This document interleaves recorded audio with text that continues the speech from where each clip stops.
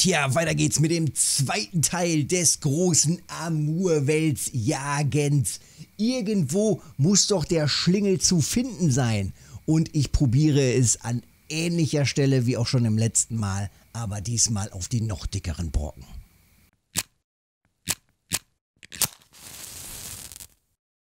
Also, das Teil sieht doch schon richtig gut aus. So kann es gerne weitergehen. Rein damit. Ich habe zwei Routen auf Grund und mit der dritten werfe ich genau in die gleiche Ecke, an die gleiche Stelle. Ziemlich genau auf 30 Meter und jig hier wieder durch. Irgendwann muss doch der dicke, fette Amurwels reinballern. Und hier sehe ich gerade im Ingame-Chat, Ivan Drago, Alter, 4,288 Kilo, auch schon so einen dicken Brocken gezogen. Also offensichtlich lübt der Lümmel wieder. Nachdem er ja in den letzten Tagen, also die letzten Tage der letzten Woche sozusagen, deutlich nachgelassen hat und man von allen Seiten gehört hat, ähm, ja, Amurwels, nee, leider schon nicht mehr so gut gewesen. Äh, ja, nach den Rumgeunke geht es jetzt langsam wieder los. Und ich sehe schon wieder den nächsten Amurwels mit über 1 Kilo hier drin. Also es scheint gerade wieder ganz vernünftig anzulaufen. Gestern Abend hatte ich dann auch schon wieder ähm, eine ganz guten äh, oder richtig dicken, fetten Brocken in den Rekorden gesehen.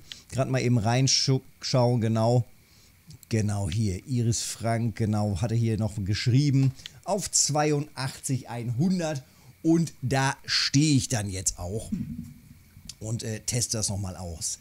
Ähm, Entfernung, ja, ich baller hier einfach, sagen wir mal ungefähr ziemlich genau, ja, so raus. Das heißt, ich werfe ungefähr hier in diese Area, ich will glaube ich gar nicht hier richtig rein, ähm, sondern hier an dieser Kante entlang und in diesem Bereich dann einfach so durchjiggen. Ähm, wie das Set zusammengebaut ist, das zeige ich natürlich auch alles gleich im Detail nochmal. Da ist es gar nicht viel Unterschied zu dem letzten Mal. Jetzt ziehe ich hier nochmal eben rein. Hier nochmal ein bisschen dran rumzubbeln. Ja, sind die noch aktiv? Sind sie.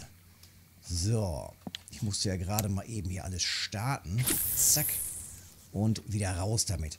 Also, raus hier ungefähr auf halb aufgeladen hier mit diesem Setup.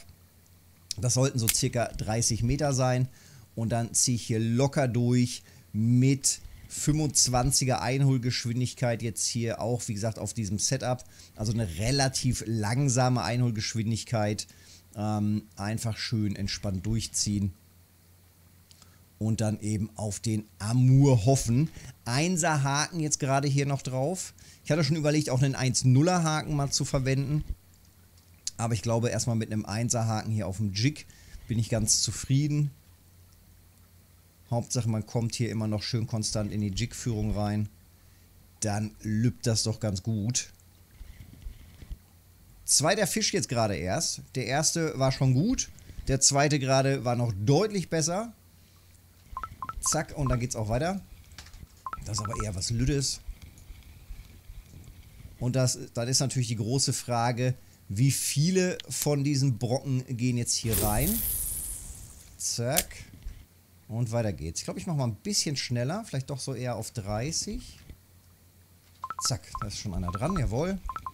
Genau so soll das gehen, ey. Genau so soll das gehen. Ich liebäugel gerade damit, hier auch vielleicht äh, den einen oder anderen Goldköder mal ranzuschmeißen, Nashornkäfer, Larve oder sowas. Ähm, man hat da natürlich die große Gefahr, dass dann hier vielleicht auch irgendwelche Störe rangehen. Ähm, ist natürlich ein bisschen tricky. Also lieb wäre es mir natürlich, wenn er einfach hier auf den Jig gehen würde. Ich bin auch gar nicht so fein unterwegs mit dem Jig. Also relativ grob mit dem Jig. Die Dinger werden eben auch gefangen auf grobem Setup. Ähm, man sieht es auch immer wieder äh, in den Rekorden. Zack, wenn da jemand ähm, gerade irgendwie auf, auf Timen aus war oder sowas, dann ballern da einfach die dicken, fetten Amurwälse rein. Und ihr seht auch hier selbst die kleinen, winzigen Quappen, die gehen da drauf. Also es scheint ganz gut zu funktionieren mit relativ dicken Setup. Ich ziehe jetzt hier nochmal ein bisschen durch. Zack, sofort Biss. Wahnsinn. Ja, das war ein bisschen aggressiverer Biss. Aber auch da wieder Amurwels. Und das ist gerade richtig wild. Ähm, heißt also für dich, wenn du den noch brauchst, den Brocken, vielleicht als Trophy, sofort ausnutzen.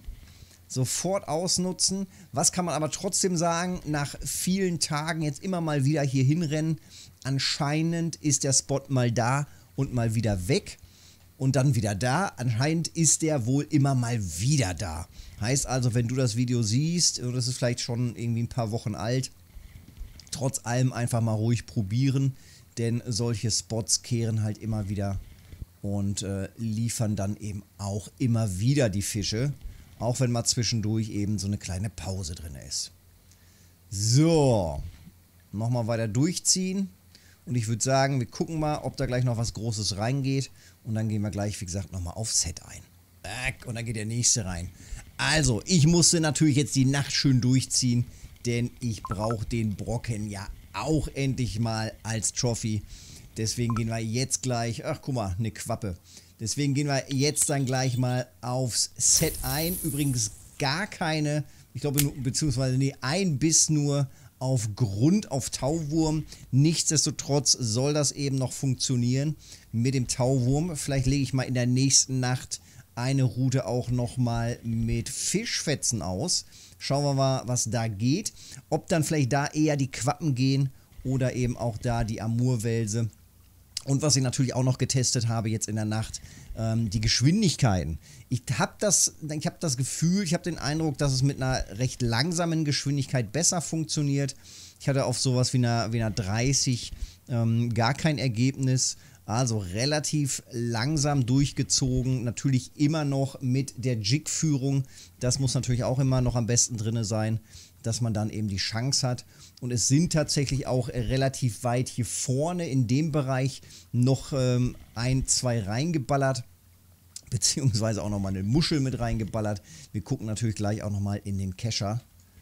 Sagen wir mal, einen Wurf machen wir. Jetzt haben wir 5 Uhr. Reicht so langsam. 6 Grad, kühl ist es gerade. Und in der Nacht war es auch recht kühl.